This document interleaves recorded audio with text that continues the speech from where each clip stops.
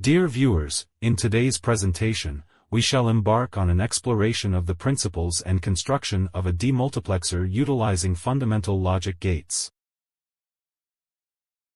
A demultiplexer is a type of combinational logic circuit that features a single input line, 2 to the power of n output lines, and n select lines.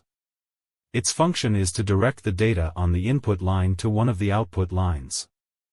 The specific output line receiving the data is determined by the binary status of the selection lines. It's worth noting that a decoder is essentially a specialized form of a demultiplexer, omitting the input line altogether.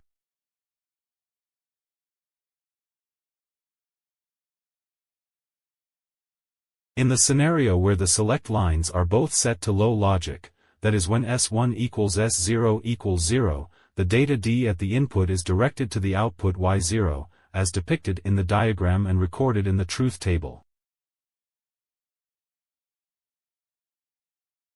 When the select lines are configured as S1 equals 0 and S0 equals 1, the data D from the input is routed to the output Y1, as illustrated in the diagram. The data at this output can be either in a high or low state. When the select lines are configured as S1 equals 1 and S0 equals 0, the data D from the input is routed to the output Y2, as illustrated in the diagram, again the data at this output can be either in a high or low state.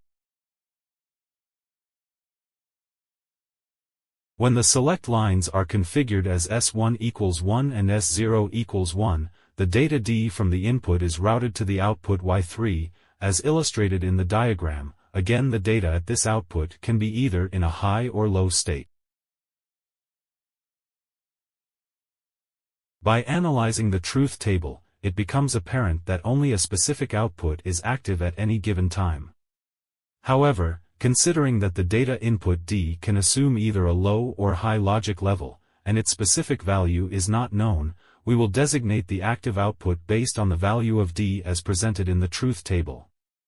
Typically, we would consider the high outputs to derive product terms or min terms. However, in this scenario, we must include D in the truth table instead of simply using 1 or 0 logic. As a result, the Boolean expressions for all the outputs can be formulated as follows. Y0 equals D and S1 bar and S0 bar. Y1 equals D and S1 bar and S0 y2 equals d and s1 and s0 bar. y3 equals d and s1 and We can implement the demultiplexer using basic logic gates as shown in the figure here. We would require two NOT gates which provide the complements of S1 and S0. So, to implement the minterm Y0, we need a 3-input and logic gate, one of the input will get connected to S1 bar and another to S0 bar. Now to implement the minterm Y1, we need the second 3-input and logic gate, one of the input will get connected to S1 bar and another to S0.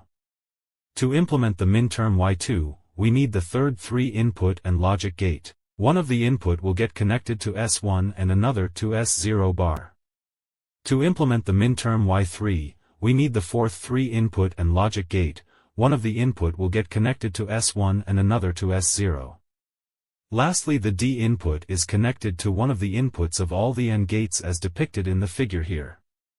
In summary, within this lecture, we've examined the operation of a 1, 2, 4 demultiplexer and its construction utilizing fundamental logic gates. I trust that this lecture has provided here with valuable insights into the functionality of data distributors, commonly referred to as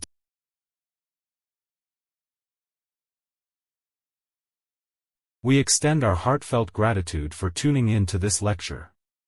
To explore more captivating technical and educational content, please stay connected with our channel. Don't forget to share and subscribe to iNET Techtalk, as your support truly means the world to us.